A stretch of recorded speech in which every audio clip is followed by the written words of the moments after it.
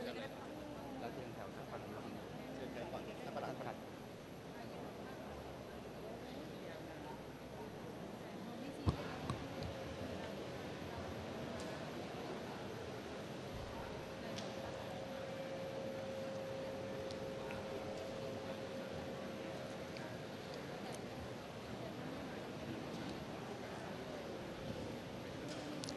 กับเมื่อเสร็จจากพระสงฆ์แล้วก็จะเป็น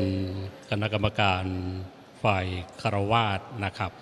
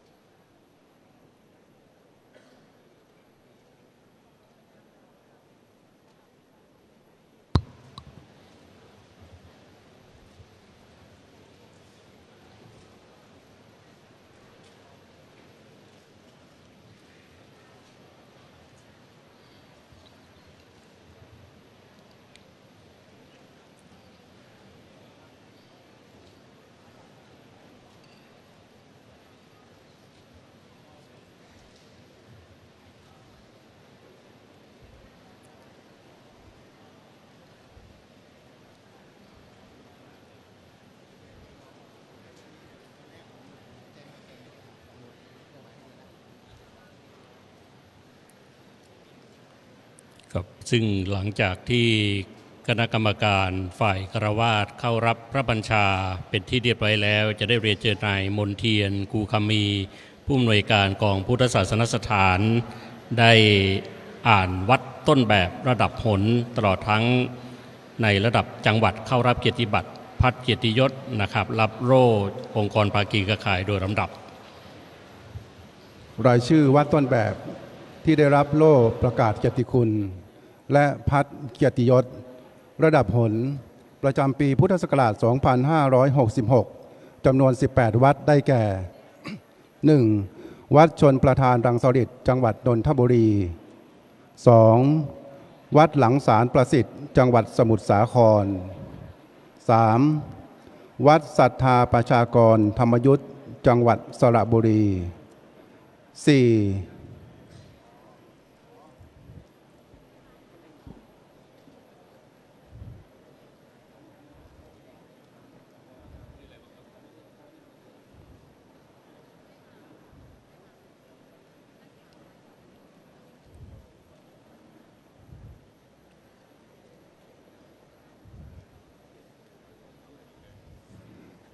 4. วัดเกลื่นกระถิน จังหวัดลบบุรี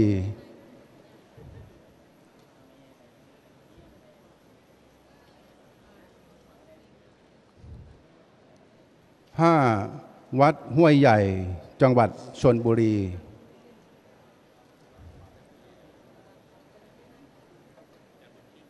หกวัดเพชรสมุทรวรวิหาร จังหวัดสมุทรสงคราม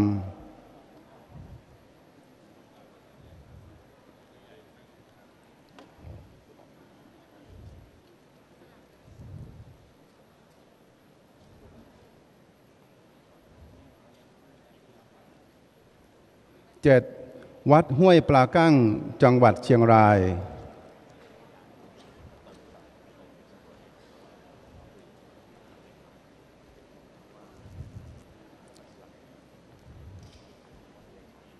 8. วัดหนองกระดูกเนื้อจังหวัดนครสวรรค์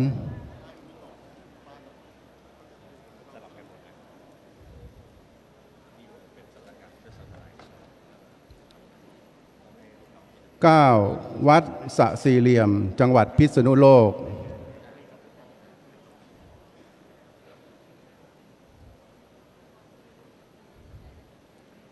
10. วัดจองคำจังหวัดแม่ฮ่องสอน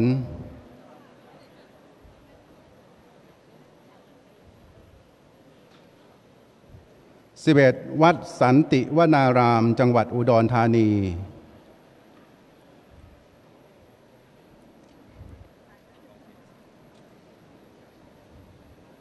12. วัดพระธาตุหนองบัวธรรมยุทธจังหวัดอุบลราชธานี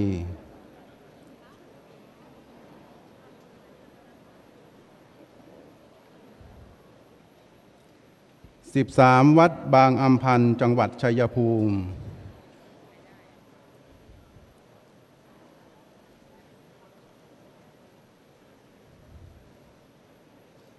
14. วัดสว่างอารมณ์ จังหวัดนครนายก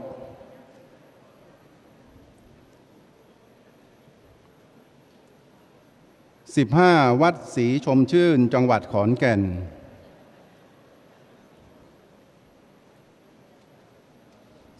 16. วัดประพาสประเจิมเขต จังหวัดพังงา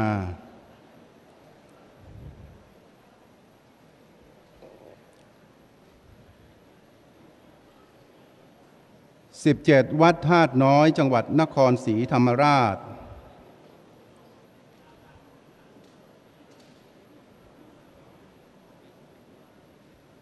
และ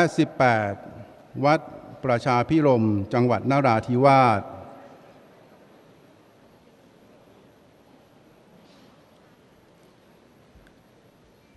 เกียรติบัตรและพัด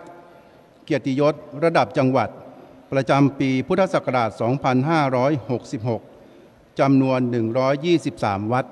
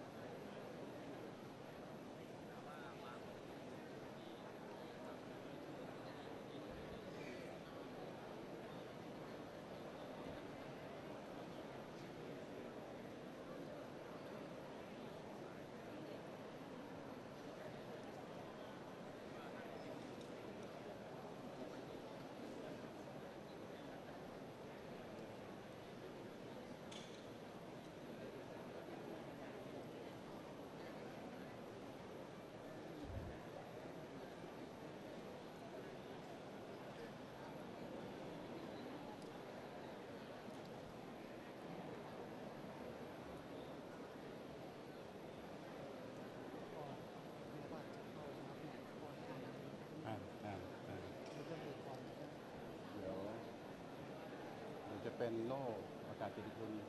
องค์กรเนี่ยองค์กรภาคีเครือข่ายอ่าก็คือให้พระจบแล้วให้พระใกล้ๆหมดอะเดี๋ยวพี่จะอ่านแล้วก็เขียนก็คอจัดแล้วนที่พี่ที่ที่ขายรายชื่อแต่ว่าภาคีเครือข่าย50ปีหน่วยไม่ได้ไม่ได้ขายนะอันนี้เข้านับตามระดับเลยแล้วก็จะมาขายอีกทีก็คือที่สนับสนุนองค์กรที่สนับสนุน19 หน่วย 19หน่วยอ่ามีมีมีมีเจ็ดหน่วยมาเจ็ดหน่วย มาเจ็ดองค์กรอ่าอ่าตรงนี้ตรงนี้ตรงนี้ก่อนเดี๋ยวรอภาคใกล้ๆหมดเดี๋ยวพี่จะอ่าน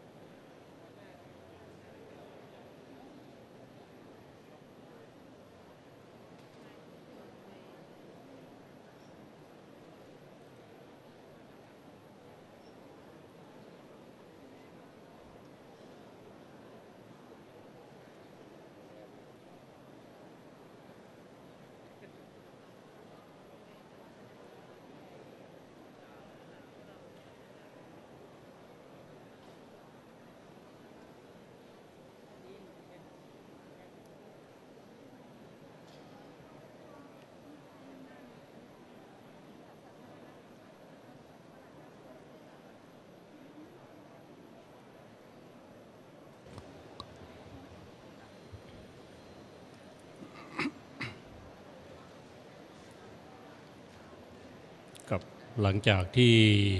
พระสงฆ์เข้ารับเกียรติบัตร และพัดเกียรติยศ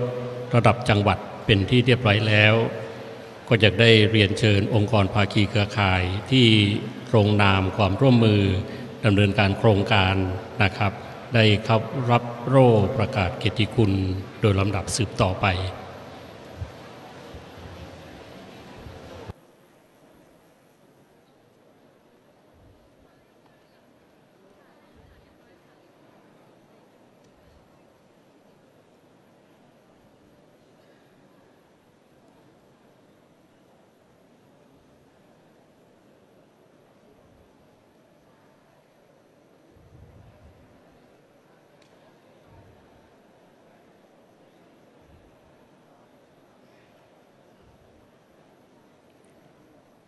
โล่ประกาศเกียรติคุณ องค์กรภาคีเครือข่ายที่ลงนามความร่วมมือดำเนินโครงการวัดประชารัฐสร้างสุข ประกอบด้วย 1. กระทรวงวัฒนธรรม ไปเชิญท่านไปเชิญท่าน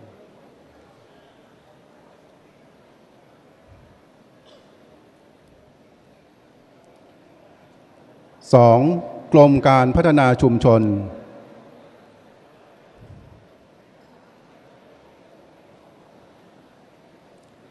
สามกรมส่งเสริมการปกครองท้องถิ่น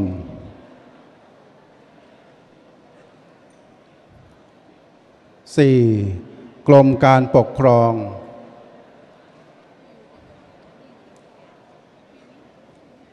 ห้า กรมการเปลี่ยนแปลงสภาพภูมิอากาศและสิ่งแวดล้อม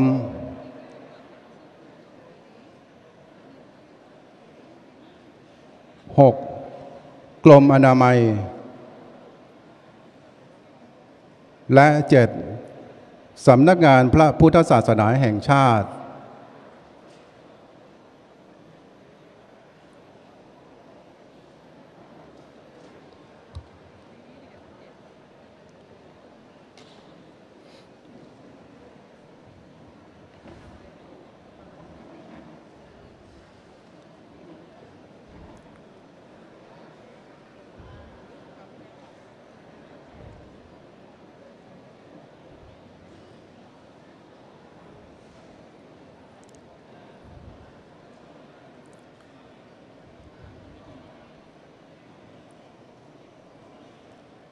เกียรติบัตรองค์กรภาคีความร่วมมือของวัดต้นแบบระดับหน ประจำปีพุทธศักราช 2566 จำนวน 54 หน่วยงาน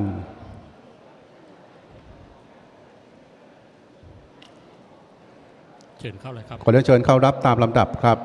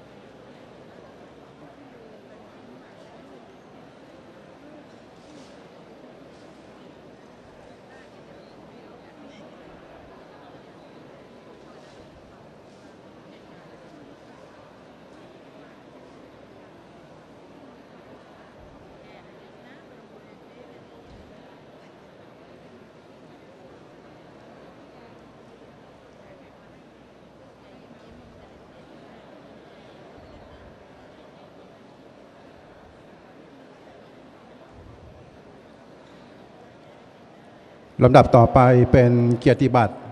องค์กรภาคีเครือข่าย ที่ให้การสนับสนุนการจัดงาน ขอกราบอาราธนาและเรียนเชิญเข้ารับตามลำดับดังนี้ครับ 1. วัดเขียนเขตจังหวัดปทุมธานี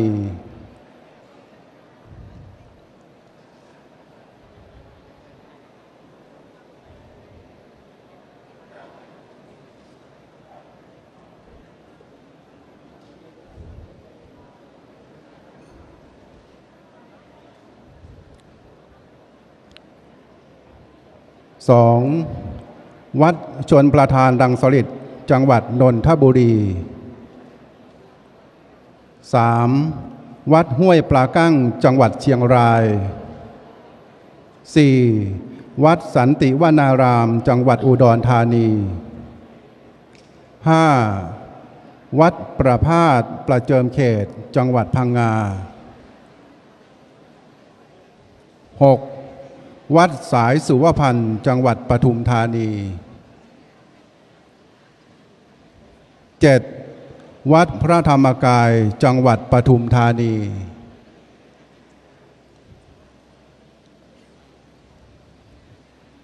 8. กรมอนามัย 9. กรมการเปลี่ยนแปลงสภาพภูมิอากาศและสิ่งแวดล้อม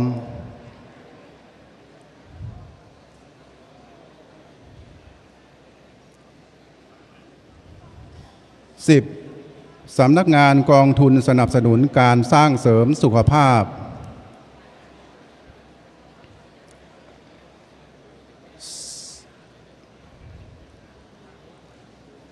11. จังหวัดปทุมธานี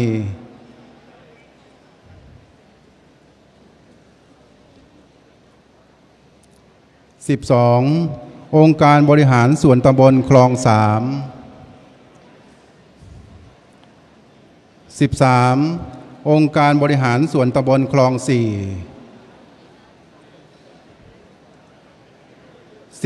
14. พุทธสมาคมจังหวัดปทุมธานี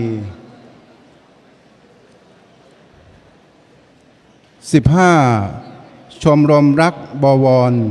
รักศีลห้าปทุมธานี ในอุปถัมภ์พระธรรมรัตนาพร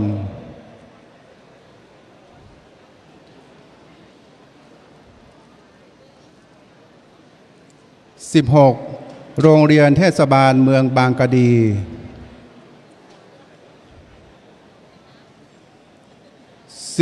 17. โรงเรียนวิภารัฐ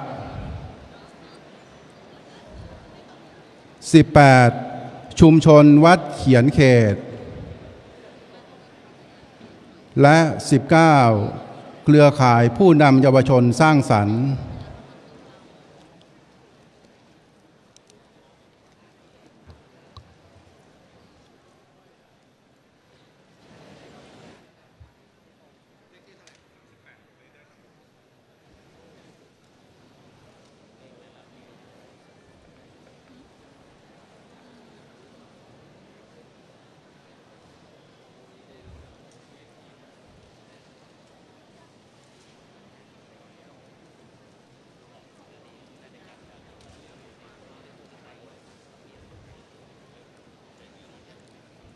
และในโอกาสนี้นะครับจะได้ขอประธานเมตตาท่านเจ้าพระคุณสมเด็จผู้เป็นประธาน ได้ประธานโอวาทและก็เปิดการประชุมเพื่อเป็นขวัญกำลังใจให้ แต่ท่านคณะกรรมการในการขับเคลื่อนโครงการสืบต่อไปขอกราบพัฒนาด้วยความเคารพอย่างยิ่ง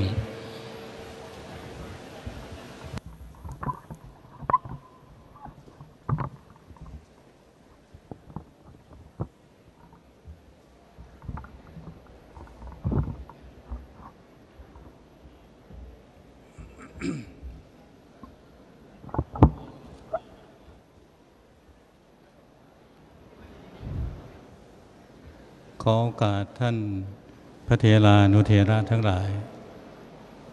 มีท่านชาวจังหวัดปทุมธานีเป็นต้นเป็นประธาน ตลอดถึงพระสังฆาธิการทุกรูปที่มาร่วมประชุมกันณที่นี้ เจริญพรท่านปลัดกระทรวงมหาดไทย และท่านอธิบดีกรมกรองต่างๆ ที่มาร่วมในพิธีในวันนี้ วันนี้ถือว่าเป็นวันพิเศษอีกวันหนึ่ง ของโครงการวัดประชารัฐสร้างสุข ซึ่งท่านเจ้าคุณเจ้าวาดวัดเขียงเขต ท่านเป็นอยู่ฝ่ายอำนวยการดำเนินการ ห้องประชุมนี้มาเมื่อสามปีที่แล้ว ก็ยังไม่เรียบร้อย ตอนนั้นมาเนื่องด้วยโรคโควิด ได้มาแจกของสถานที่แห่งนี้ วันนี้ก็ได้มาพบความสำเร็จเกิดขึ้น อีกส่วนหนึ่ง แล้วก็มีการใช้ห้องประชุมนี้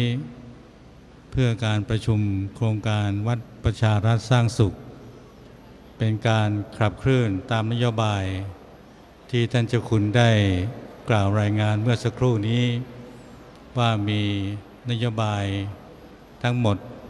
4 หัวข้อด้วยกัน เป็นที่ทราบแล้ว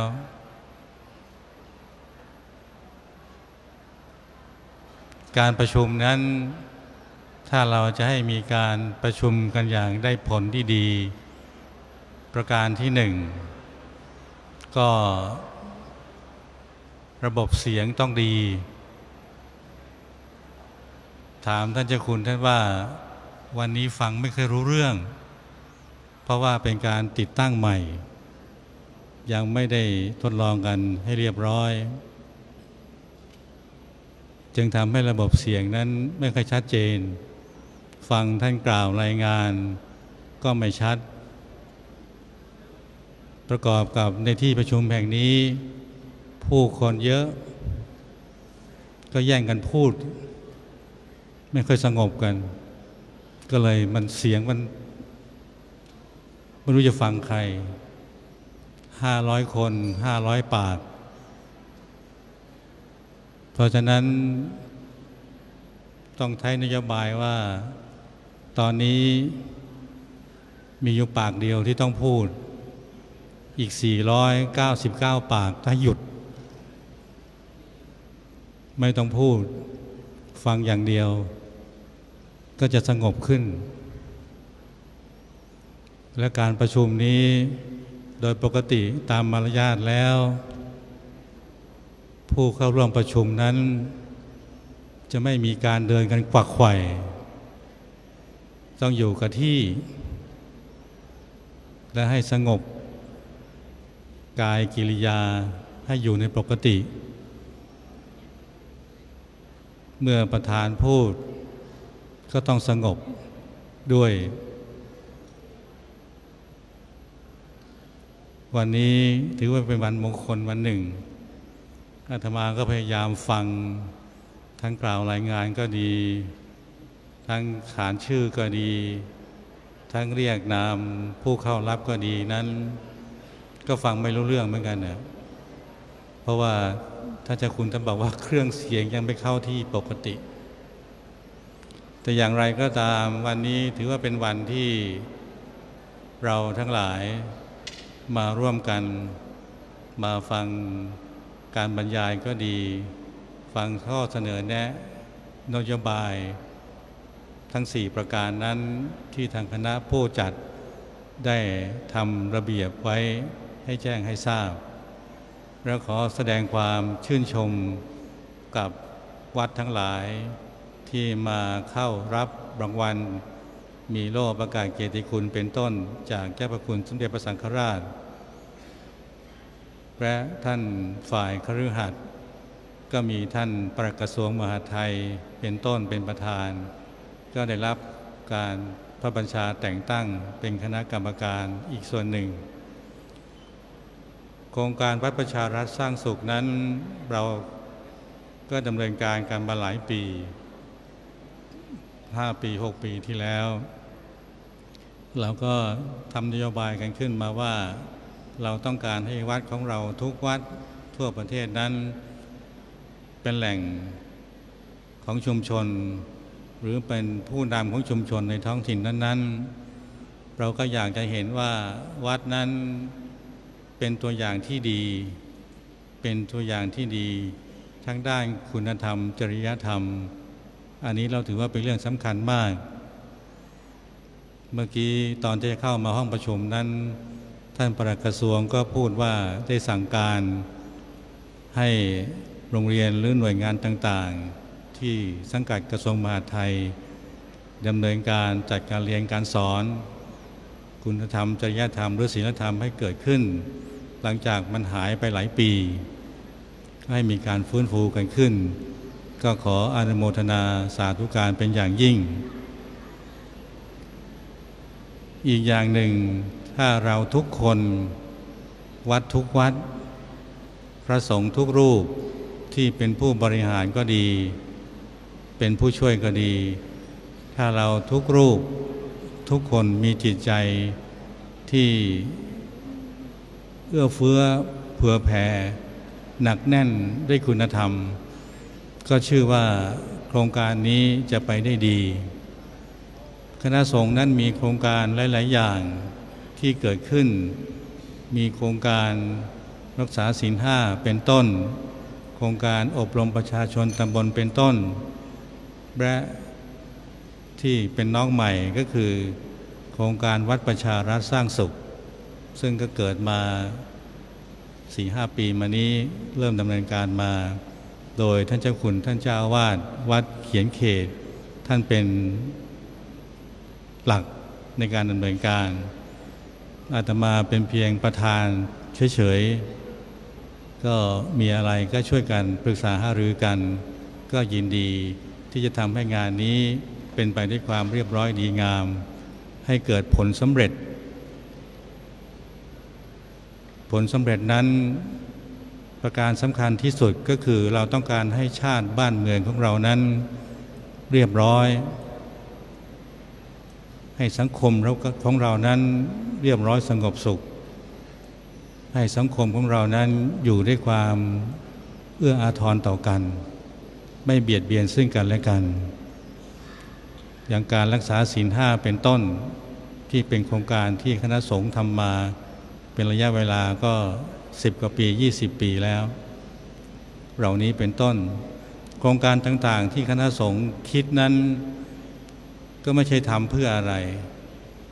ก็ทำเพื่อประชาชนนั่นเองทำเพื่อชาติ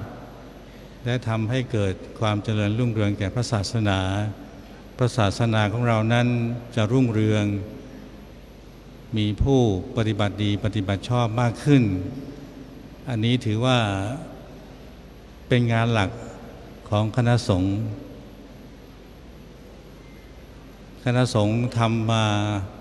ทุกอย่างเพื่อเป็นการตอบแทนบุญคุณของพุทธศาสนิกชน ที่ได้อุปถัมภ์ค้ำชูพระศาสนา โดยเฉพาะพระพิสุสามเณรก็ดี อุปถัมภ์ด้วยปัจจัยสี่มีอาหารเครื่องนุ่งห่มที่อยู่อาศัยยารักษาโรค ถ้าญาติโยมพุทธศาสนิกชนไม่อุปถัมภ์พระ